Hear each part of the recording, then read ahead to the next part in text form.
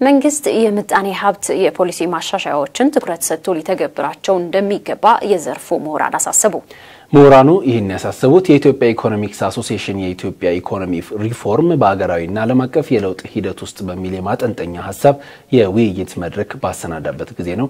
ኤርሚያስ በጋሻው ኢትዮጵያ ባልተረጋጋ የፖለቲካዊ ኢኮኖሚ ድባብ ውስጥ በሽግግር ሂደት ላይ ከመሆኗ ጋር ተያይዞ ምጣኔ ሀብቷ በሕመም ላይ ስለመገኘቱ መንግስትን ጨምሮ ብዙዎች ይስማማሉ።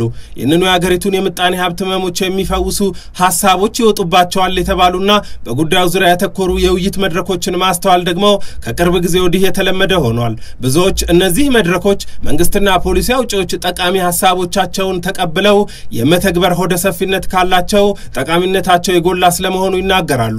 ከነዚህ መሰል ውይይቶች መካከል አንዱ በኢትዮጵያ ኢኮኖሚ ማህበር አማካኝነት ሰሞኑን በአዲስ አበባ ተካሂዷል።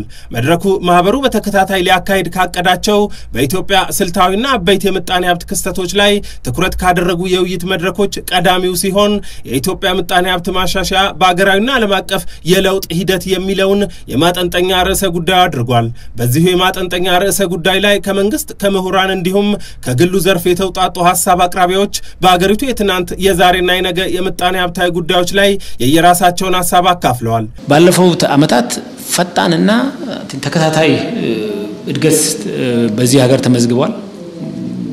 ጥራቱ ላይ አካሄዱ ልንለያይ እንችላለን። ግን አጠቃላይ ግምገማው በአመዛኙ የእድገት ከጥቅል ፍላጎት ዘመም demand side የመነጨ ነው የነበረውና በአቅርቦት አሁን ያንን reorient የማድረግ ምርታማ ሴክተሮች ላይ በደንብ የማተኮር የእድገት ምንጩን የማስፋት አቅጣጫ መከተል ያስፈልጋል። እንግዲህ የእድገት ምንጩን ማስፋት source of growth ማስፋት ስንል መረባችንን ሰፋ አድርገን መጣል ያስፈልገናል። ፖሊሲን የማተግበር አቅምን በስፋት ለመገንባት ጥረት መደረግ አለበት። ሁለት ነገሮች ብቻ እንደው በግርድፉ አሁንም እየታዩ ያሉ አሉ። አንደኛው ሲቪል ሰርቪሱን ከፖለቲካ ውጭ ማድረግ ከተወሰነ ደረጃ በታች ከፖለቲካ ውጭ ማድረግ አስፈላጊ ነው። ሁለተኛ Central Statistical Agency ን ተጠያቂነቱ ለፓርላማ እንዲሆን ከዚህ በፊት እንደነበረው ለስራ አስፈጻሚው ሳይሆን ለፓርላማ እንዲሆን ማድረግ ትልቁ ችግር ቅድም ከጠቀስኩት ማለት የአነስተኛ ድርጅቶች ከመሆናችን የተነሳ ብዙ ድርጅቶች አለመፈጠራቸው እንዳለ ሆኖ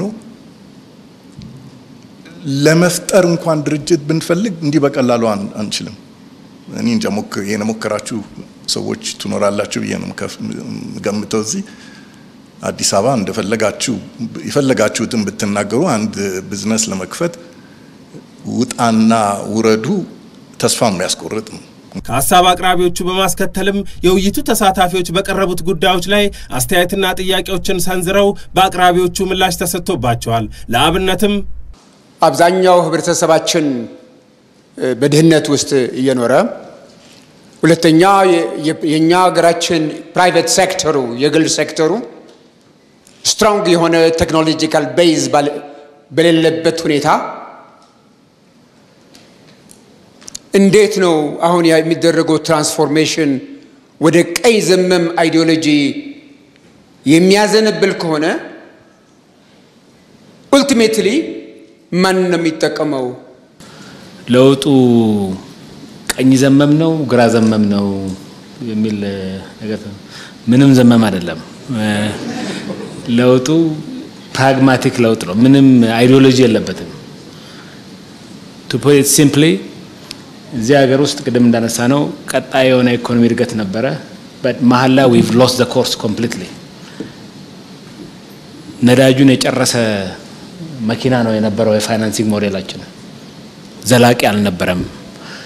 In fact በዛ ብንቀጥል ኖሮ ብዙ ጊዜ ስለ ፖለቲካ ለውጥ ስለ ማህበራዊ ለውጥ ይወራል እዚህ ሀገር። የኢኮኖሚ ለውጡ ባይደረግ ኖሮ እንደ ሀገር የማያስቀጥለን major crisis የሚመጣበት ሁኔታ ውስጥ የነበርነው። ከኢትዮጵያ ኢኮኖሚክስ ማህበር ያገኘነው መረጃ እንደሚጠቁመው ማህበሩ ከዚህ በኋላ የአገሪቱን ምጣኔ ሀብታዊ ሽግግር ለማፋጠን የማገዝ ዓላማ የሰነቁ ተከታታይ የፓናል ውይይቶች፣ ህዝባዊ ንግግሮችና ምክክሮችን በተመረጡ አንገብጋቢና ወቅታዊ የማህበረ ምጣኔ ሀብታዊ ርዕሰ ጉዳዮች ላይ ለማካሄድ ወስኗል።